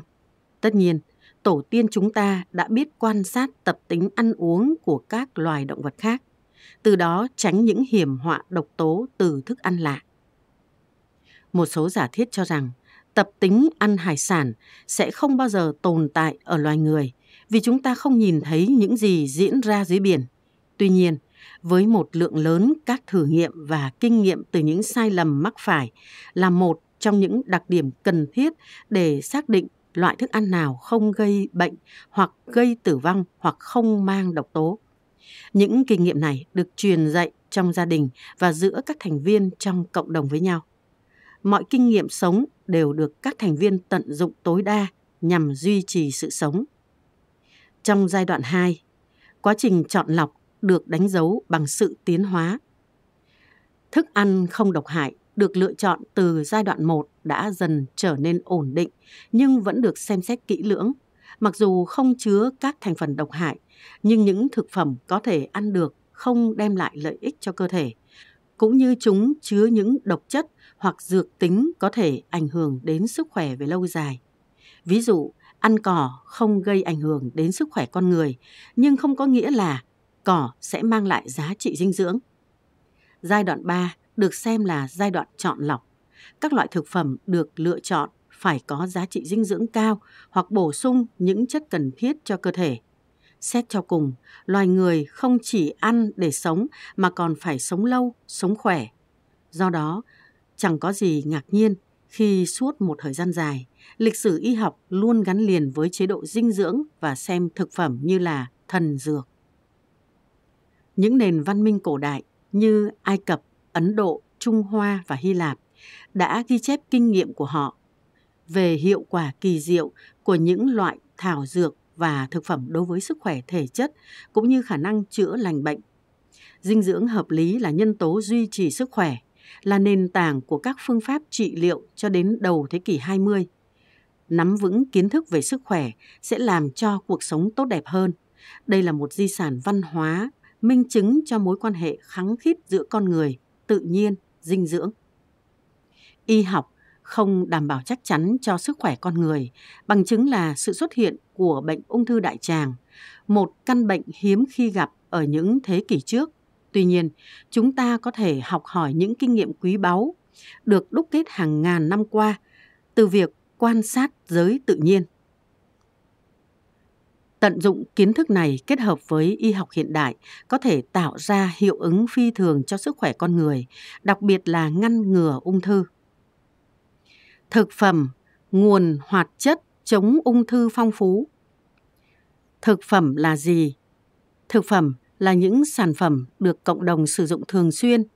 Chúng không gây hại và về lâu dài sẽ mang lại lợi ích cho sức khỏe. Các nghiên cứu trong những năm qua cho thấy một số lượng lớn thực vật và thực phẩm trong chế độ dinh dưỡng hàng ngày có khả năng can thiệp vào tiến trình phát triển ung thư. Những phân tử này hoạt động tương tự như nhiều dược chất chống ung thư khác được sử dụng ngày nay. Bất kỳ một loại thuốc nào nếu được sử dụng để điều trị ung thư hoặc một số bệnh khác thì các phân tử của chúng luôn luôn có cơ chế khóa các giai đoạn thiết yếu của quá trình phát triển bệnh. Chúng hoạt động theo cơ chế đóng mở. Nếu ở vị trí đóng, chúng sẽ ngăn chặn bệnh phát triển. Trong đa số các trường hợp, các bệnh như ung thư sinh ra do sự sai hỏng chức năng của một loại protein chuyên biệt gọi là enzyme. Điều này không có nghĩa là hầu hết các loại thuốc đều có cơ chế khóa chức năng của các enzyme này. Chúng tồn tại ở trạng thái cân bằng và ngừng hoạt động trong quá trình phát triển bệnh. Ví dụ, nếu một enzyme tương tác với chất được đưa vào và làm nặng thêm bệnh, thì dược chất loại bỏ cấu trúc của chất này sẽ ngăn chặn đường vào gắn với enzyme, làm giảm chức năng của chúng. Phân tử có khả năng ức chế hoạt tính của enzyme, có thể được tổng hợp hoặc tìm thấy trong tự nhiên, đặc biệt là trong thực phẩm chúng ta ăn hàng ngày. Ví dụ, Zernistein là một phân tử tìm thấy nhiều trong đậu nành, có cấu trúc tương tự với chất estradiol, một loại hormone sinh dục nữ thuộc họ estrogen. Vì lý do này, genistein được xem là một estrogen thực vật, phytoestrogen. Do có cấu trúc tương tự, genistein hoạt động như một chiếc bẫy bắt protein một chức năng vốn tìm thấy ở estradiol. Phân tử genistein nhanh chóng chiếm lĩnh những nơi có sự tồn tại của hormone, theo đó hạn chế sự tăng sinh quá mức của các mô nhạy cảm với hormone như các mô vú. Chức năng của genistein cũng tương tự như sản phẩm dược có tên thương mại là tamoxifen, một loại thuốc điều trị ung thư vú hiện nay.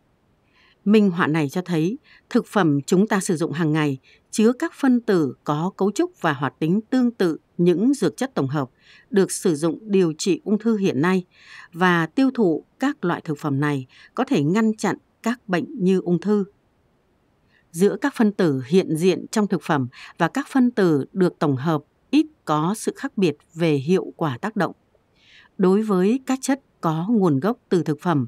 Quá trình hình thành các chất này phải trải qua một thời gian dài theo sự chọn lọc tự nhiên.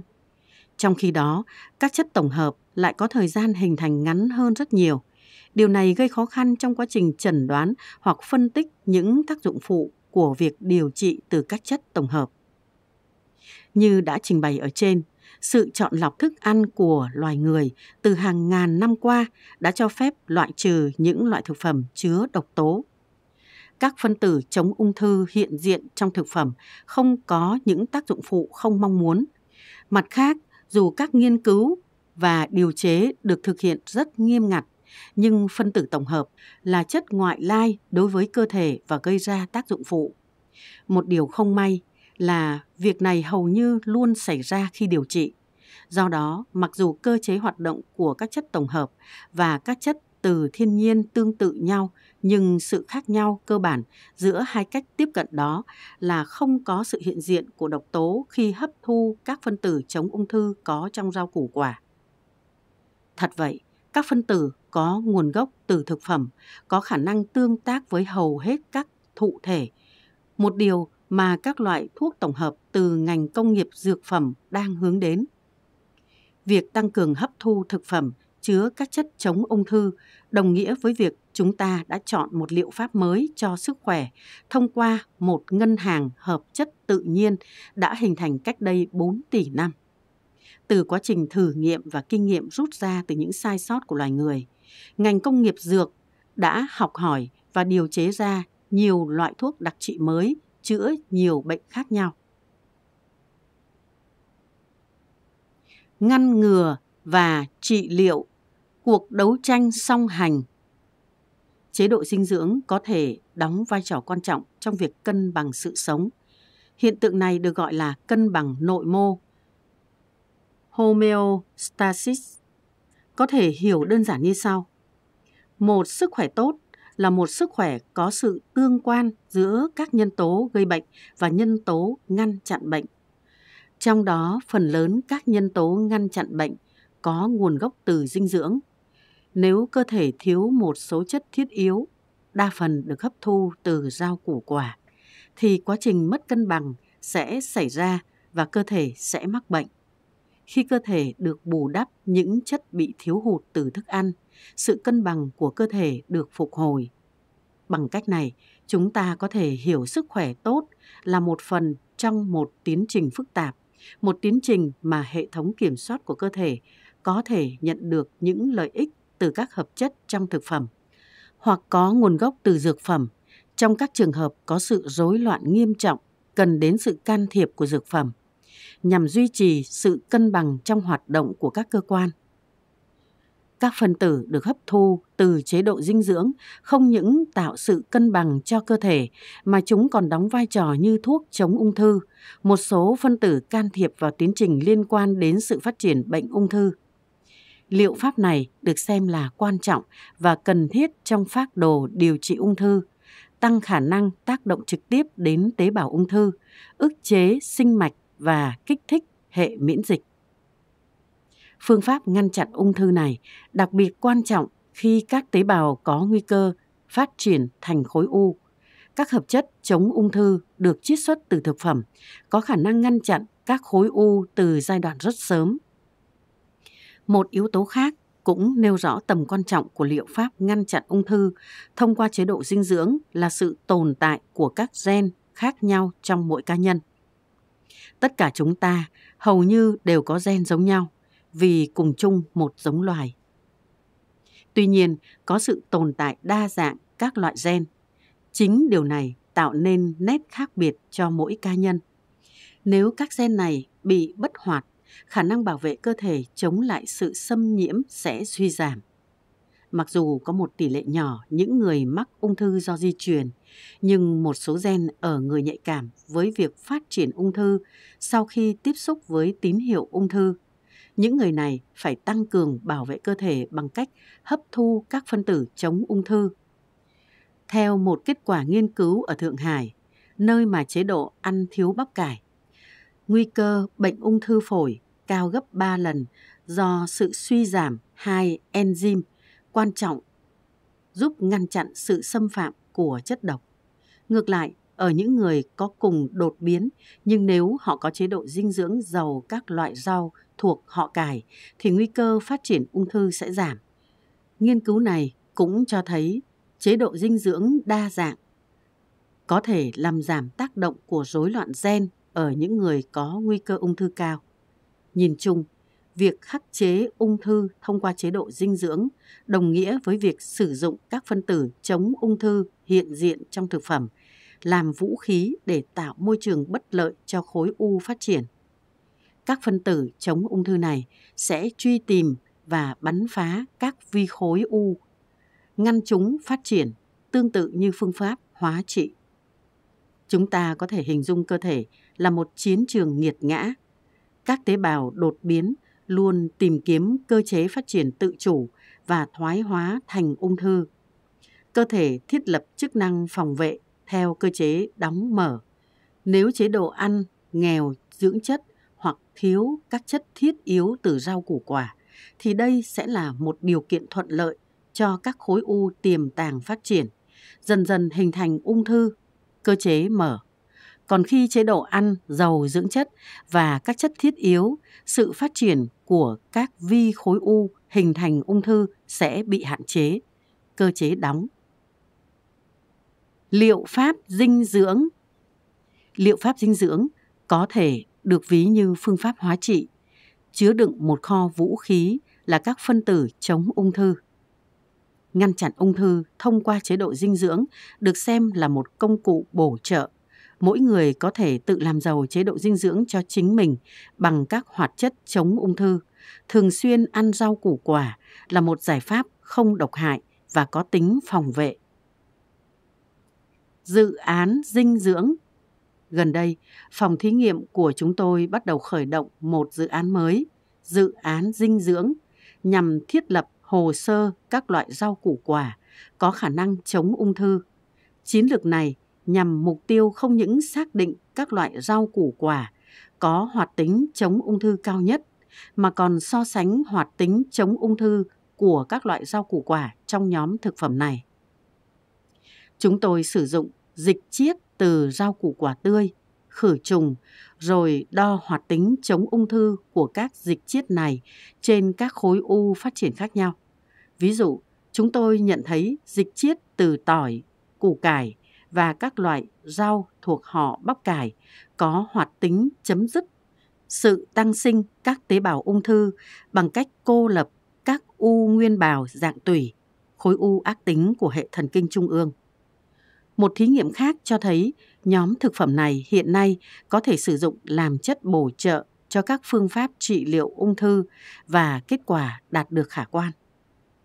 Cụ thể như tỏi có chức năng đào thải các tế bào ung thư này, thậm chí chỉ cần pha loãng 1 phần 1 ngàn dịch chiết tỏi cũng đã làm chậm sự tăng sinh của các tế bào ung thư. Tóm lại, các hợp chất trong rau củ quả mà chúng ta sử dụng hàng ngày có khả năng hạn chế đến mức thấp nhất sự phát triển ung thư. Sự hiện diện của các hợp chất này giúp chống lại sự phát triển của các vi khối u hình thành tự phát trong các mô. Do đó, hấp thu các chất chống ung thư từ thực phẩm là một giải pháp hoàn hảo nhằm ngăn chặn sự phát triển của ung thư. Tóm tắt, thực phẩm được chọn lọc từ quá trình tiến hóa của loài người, chứa những hợp chất có lợi cho sức khỏe, có tính năng chống ung thư tương tự như các dược phẩm tổng hợp. Các hợp chất trong chế độ dinh dưỡng hàng ngày tạo điều kiện ngăn chặn sự phát triển của các vi khối u. Liệu pháp dinh dưỡng là một ví dụ điển hình của phương pháp đếm nhịp, cho phép một lượng nhỏ hoạt chất chống ung thư tự nhiên được hoạt động mỗi ngày ngăn ngừa ung thư bằng dinh dưỡng được xem là phương pháp hóa trị không độc tố vì phương pháp này sử dụng các phân tử chống ung thư hiện diện trong thực phẩm.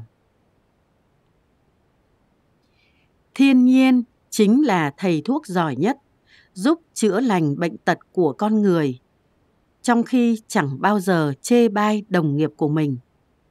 Louis Pasteur 1822-1895 5. Hoạt chất tự nhiên và sức khỏe Trong số các hợp chất chống ung thư từ rau củ quả, hoạt chất tự nhiên phytochemical có vai trò quan trọng nhất. Các nghiên cứu tại phòng thí nghiệm cho thấy các hợp chất từ thực vật có khả năng ức chế sự tăng sinh ung thư một cách đáng kinh ngạc. Hấp thu với các hoạt chất tự nhiên này với liều lượng nhiều mỗi ngày có ý nghĩa sống còn trong việc ngăn ngừa ung thư. Rau củ quả không chỉ có vitamin. Về mặt dinh dưỡng, thực phẩm chúng ta ăn được chia làm hai nhóm. Nhóm đa lượng bao gồm carbohydrate, chất bột đường, protein, chất đạm và lipid, chất béo. Nhóm vi lượng gồm vitamin và chất khoáng. Tuy nhiên, rau củ quả chứa một lượng đáng kể các hợp chất không thuộc hai nhóm này. Các hợp chất này thuộc một nhóm phân tử khác.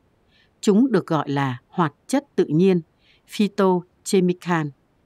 Theo tiếng Hy Lạp, phyto có nghĩa là thực vật. Hoạt chất tự nhiên là các phân tử có tính chất màu và cảm quan. tác động lên các cơ quan và các giác quan. Chúng không chỉ tạo nên màu sắc đặc trưng cho rau củ quả, mà còn tạo nên phong cách ăn uống khác nhau của các dân tộc. Màu đỏ tươi của quả mâm xôi, raspberry, mùi hết sức đặc trưng của tỏi, vị hơi chát của trà, vân vân đều có liên quan đến sự hiện diện của các hợp chất hóa học tự nhiên trong thực phẩm. Các hợp chất này hiện diện rất phong phú, một chế độ dinh dưỡng cân bằng bao gồm trái cây, rau củ và các loại thức uống như trà, rượu vang đỏ, chứa khoảng từ 1 đến 2 gam hoạt chất tự nhiên. Như vậy, một ly cocktail chứa từ 5.000 đến 10.000 hoạt chất tự nhiên khác nhau. Những năm gần đây, vitamin, khoáng chất và chất xơ được xem là có ảnh hưởng tích cực đến việc ngăn chặn các bệnh mãn tính như ung thư. Tuy nhiên, kết quả ghi nhận một vài năm qua cho thấy kết luận này vẫn chưa rõ nét. Còn hiện tại, càng ngày càng có nhiều bằng chứng cho thấy vai trò bảo vệ cơ thể, phòng chống ung thư của các hoạt chất tự nhiên. Không có nghiên cứu lâm sàng nào cho thấy một lượng lớn thuốc bổ sung vitamin có thể ngăn ngừa ung thư và các bệnh mãn tính khác. Nhiều kết quả nghiên cứu còn cho thấy hiệu ứng trái ngược của vitamin là tăng nguy cơ tử vong nếu sử dụng quá liều. Ví dụ, hai nghiên cứu khảo sát về việc bổ sung liều cao vitamin A hoặc beta carotene, tiền chất tổng hợp nên vitamin A trong cơ thể, đối với người hút thuốc lá có nguy cơ mắc bệnh ung thư phổi. Kết quả cho thấy việc hấp thu vitamin này hàng ngày không làm giảm tỷ lệ tử vong do ung thư gây ra, mà ngược lại, nguy cơ mắc bệnh còn gia tăng. Một nghiên cứu cho thấy trên 28% số người mắc thêm các bệnh ung thư khác và trên 17% số người tử vong khi uống thuốc bổ sung vitamin. Ảnh hưởng tiêu cực của thuốc bổ với liều cao cũng được ghi nhận ở những người không hút thuốc. Theo một nghiên cứu khác, việc uống bổ sung vitamin liều cao có ít hoặc không có tác dụng lên sự tiến triển của các bệnh ung thư hệ tiêu hóa, ung thư trực tràng, ung thư gan, ung thư tụy và ung thư dạ dày. Thật ra chỉ gia tăng nhẹ tỷ lệ tử vong.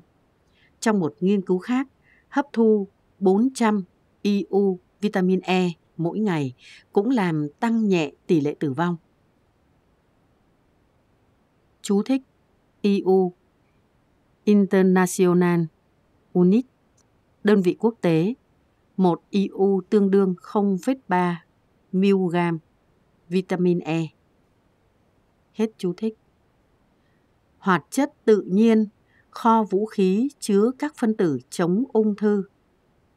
Hoạt chất tự nhiên là các phân tử cho phép thực vật chống lại sự xâm nhiễm và gây hại của các vi sinh vật, côn trùng và các loài ăn thực vật khác. Do thực vật không thể trốn chạy khỏi kẻ thù tấn công, cho nên chúng phải phát triển hệ thống phòng thủ, chống lại những kẻ xâm nhập từ môi trường xung quanh. Hoạt chất tự nhiên do thực vật tiết ra có tính kháng khuẩn, kháng nấm và tiêu diệt côn trùng. Chúng giúp chữa lành những tổn thương do tác động của kẻ thù và giúp các loài thực vật sống sót trong điều kiện khắc nghiệt. Ví dụ, khi cây nho bị các vi sinh vật tấn công, các tuyến trên cây sẽ tiết ra các hợp chất có tính kháng nấm để chống lại tác động của sinh vật ký sinh.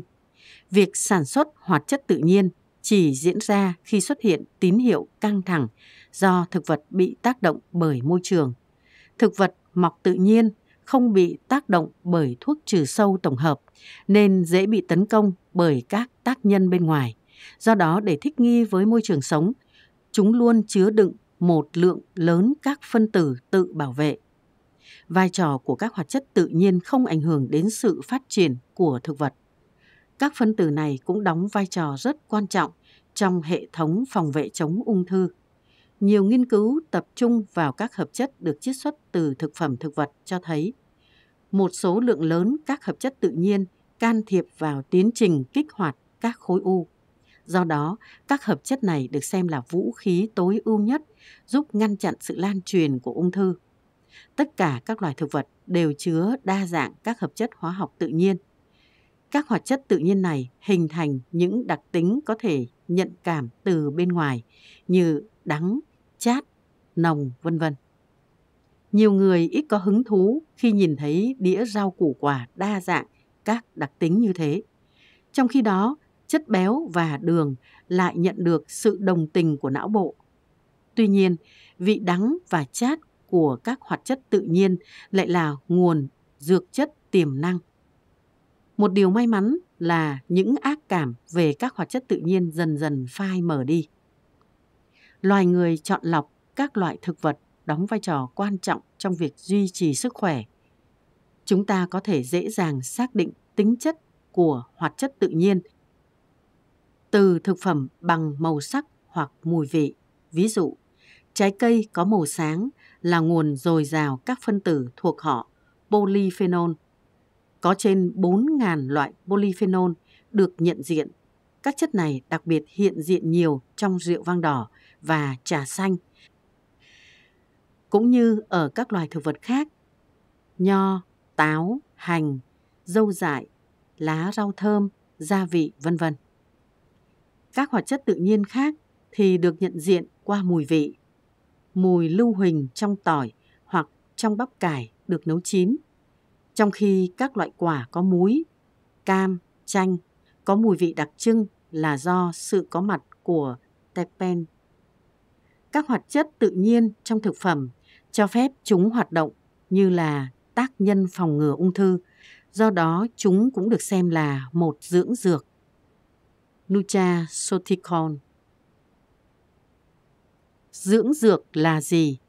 Dưỡng dược là bất kỳ loại thực phẩm nào, trái cây, rau củ, các loại thức uống hoặc các sản phẩm lên men, chứa một hay nhiều các phân tử với hàm lượng lớn, có tiềm năng chống ung thư. Mặc dù tất cả các loại rau củ quả đều chứa các hợp chất hóa học tự nhiên, song hàm lượng và hoạt tính của các hợp chất này ở mỗi loại rau củ quả thì vô cùng khác biệt. Tất cả các loại rau củ quả không giống nhau về hoạt tính chống ung thư. Nói một cách đơn giản, khoai tây và cà rốt không thể so sánh với nhau về hoạt tính chống ung thư. Trong một số trường hợp, nhiều hoạt chất tự nhiên có hoạt tính ngăn ngừa ung thư cao chỉ tồn tại trong một số thực phẩm đặc biệt. Isoflavone trong đậu nành, Resveratrol trong nho, curcumin trong nghệ, isothiocyanat và idola trong bông cải xanh, catechol trong trà xanh đều là những phân tử chống ung thư tự nhiên. Nói chung, rau củ quả phải chiếm một phần lớn trong chế độ dinh dưỡng cân bằng. Do vậy, chúng ta cần có một chế độ dinh dưỡng giàu các hợp chất chống ung thư tự nhiên. Nghiên cứu lâm sàng về phân tử chống ung thư trong các loại thực phẩm trùng khớp với các cuộc khảo sát ở những dân tộc có tỷ lệ tử vong do bệnh ung thư thấp nhất khi sử dụng các thực phẩm này. Ví dụ như người châu Á thường xuyên tiêu thụ trà xanh, đậu nành và nghệ do truyền thống dinh dưỡng lâu đời. Hoạt chất tự nhiên không đơn thuần là chất chống oxy hóa. Ngày nay, thật khó mà liệt kê cho hết lợi ích của các hợp chất này. Không chỉ dừng lại ở tính năng chống oxy hóa, chất chống oxy hóa một thuật ngữ đơn điệu thường xuyên được sử dụng trên các ấn phẩm khoa học và phương tiện truyền thông đã khiến cho mọi người nghĩ rằng các loại thực phẩm này chỉ đơn thuần có chức năng chống oxy hóa, giống như một số vitamin có hoạt chất chống oxy hóa. Người ta trở nên dễ dãi với những nhãn mác ghi chống oxy hóa bất kể chúng có thích hợp với sức khỏe hay không. Một điều chắc chắn là nhiều hoạt chất tự nhiên như các chất thuộc họ polyphenol. Có cấu trúc hóa học lý tưởng cho việc hấp thu các gốc tự do và có hoạt tính chống oxy hóa mạnh hơn vitamin. Ví dụ, một trái táo cỡ vừa chứa một lượng nhỏ vitamin C khoảng 10 mg, nhưng các chất chống oxy hóa chiếm 2.250 mg so với vitamin C. Ở góc độ khác, mối tương quan giữa các hoạt chất tự nhiên như polyphenol trong rau củ quả và hoạt tính chống oxy hóa thì rõ rệt hơn so với các vitamin trong rau củ quả và hoạt tính chống oxy hóa. Ngoài ra, một phân lớp khác của các hợp chất này, isothiocyanat, có hoạt tính chống oxy hóa vô cùng khiêm tốn, mặc dù đây là các phân tử có khả năng ức chế sự phát triển ung thư mạnh nhất. Dù hoạt tính chống oxy hóa là đặc tính của nhiều hợp chất hóa học tự nhiên, nhưng hoạt tính này không nhất thiết thể hiện cùng một hiệu ứng sinh học. Ví dụ, hai loại hợp chất polyphenol cùng mang hoạt tính chống oxy hóa nhưng lại tác động khác nhau lên tế bào ung thư. Một chất thì ức chế hoàn toàn hoạt động của enzyme đích, nhưng chất còn lại thì không. Mặc dù khoai tây nướng để vỏ có hoạt tính chống oxy hóa gấp 4 lần so với bông cải xanh, gấp 12 lần so với bông cải trắng và gấp 25 lần so với cà rốt, nhưng lại có hoạt tính chống ung thư thấp nhất. Người ta có thể nhầm lẫn khi kết luận một tách cà phê có lợi cho sức khỏe, mặc dù chúng có hàm lượng chất chống oxy hóa cao gấp 10 lần so với một ly nước cam ép. Hoạt tính chống oxy hóa là đặc điểm phổ biến ở thực phẩm thực vật, giúp ngăn chặn tác động gây hại của các gốc tự do, đặc biệt là quá trình oxy hóa thành mạch máu, dễ dẫn đến nguy cơ mắc bệnh mạch vành. Chất chống oxy hóa là gì? Oxy hiện diện trong không khí chúng ta thở. Chúng đóng vai trò cung cấp nhiên liệu cho các tế bào tạo ra phân tử mang năng lượng hóa học ATP, adenosine, triphosphate. Tuy nhiên, quá trình đốt cháy nhiên liệu này không diễn ra hoàn toàn và hình thành nên các chất thải được gọi là gốc tự do. Các gốc tự do này gây hại cho tế bào vì chúng tấn công vào cấu trúc tế bào, đặc biệt là ADN, protein và lipid. Khi tế bào tiến vào giai đoạn già, tế bào có thể thấm đến hơn 50.000 đòn va chạm từ các gốc tự do. Các tổn thương này là nguyên nhân dẫn đến việc hình thành các ADN mới và góp phần vào quá trình hình thành các khối u. Chất chống oxy hóa và nguy cơ ung thư có thể hiểu đơn giản, các chất chống oxy hóa là phân tử biến đổi các gốc tự do thành sản phẩm vô hại bằng cách trung hòa hoạt tính gây hại của chúng. Tế bào của chúng ta chứa rất nhiều các chất có hoạt tính chống oxy hóa nhằm bảo vệ cơ thể tránh khỏi sự tác động của các gốc tự do. Song nhiều người cho rằng tính năng bảo vệ tự thân này không đủ mạnh để ngăn chặn những tác động tiêu cực của các độc chất có nguồn gốc từ môi trường như chất phóng xạ, tia cực tím, khói thuốc. Do đó, việc bổ sung các chất chống oxy hóa vào chế độ dinh dưỡng sẽ giúp tăng cường hệ thống phòng thủ tự nhiên cho cơ thể, ngăn chặn nguy cơ mắc bệnh ung thư. Tuy nhiên, gần đây, các nhà khoa học khám phá ra kết quả đáng ngạc nhiên về việc uống thuốc bổ liều cao như vitamin A, E thay vì bảo vệ người hút thuốc khỏi nguy cơ mắc bệnh ung thư thì các chất chống oxy hóa này âm thầm gia tăng nguy cơ phát triển bệnh. Hấp thu các dưỡng dược hàng ngày sẽ giúp tăng cường sự hiện diện của các hợp chất bảo vệ trong cơ thể, là chất trung hòa hiệu quả các gốc tự do. Hoạt chất tự nhiên có thể tấn công các mục tiêu liên quan tới sự phát triển ung thư. Một số hợp chất có trong tỏi, bắp cải có thể ngăn chặn sự kích hoạt các chất sinh ung, trong khi những chất khác như họ polyphenol, resveratrol, curcumin, genistein, vân vân thì ngăn chặn sự phát triển của các khối u bằng cách can thiệp trực tiếp vào những tế bào khối u hoặc ngăn chặn sự hình thành mạch máu. Phương thức tấn công của hợp chất hóa học tự nhiên cũng tương tự như các phân tử dược tổng hợp trong điều trị bệnh ung thư. Điều này nói lên rằng có nhiều thực phẩm giàu các phân tử chống ung thư và sở hữu các tính năng tương tự như các phân tử dược tổng hợp. Hỗn hợp Các hợp chất tự nhiên giúp kiểm soát sự phát triển các khối u, ức chế hoạt tính gây đột biến của các chất gây ung thư và luôn giữ các khối u này ở trạng thái sơ khai, không gây hại cho cơ thể. Tóm tắt, rau củ quả không chỉ là nguồn cung cấp vitamin và khoáng chất, chúng cũng chứa hàng ngàn hoạt chất tự nhiên đóng vai trò chính trong việc tăng cường khả năng kháng sâu bệnh của các loài thực vật này. Hoạt chất tự nhiên có hoạt tính chống ung thư ưu việt, can thiệp vào sự phát triển các khối u. Thường xuyên ăn các loại thực phẩm giàu hoạt chất tự nhiên được xem là giải pháp tối ưu trong việc ngăn chặn ung thư. Hết phần 1. Ung thư, kẻ thù tiềm ẩn.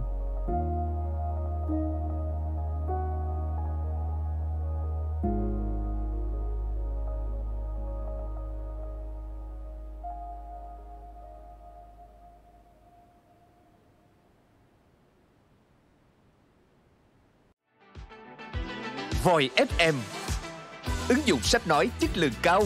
Kho sách nói lớn nhất Việt Nam. Từ các tác giả sách bán chạy nhất.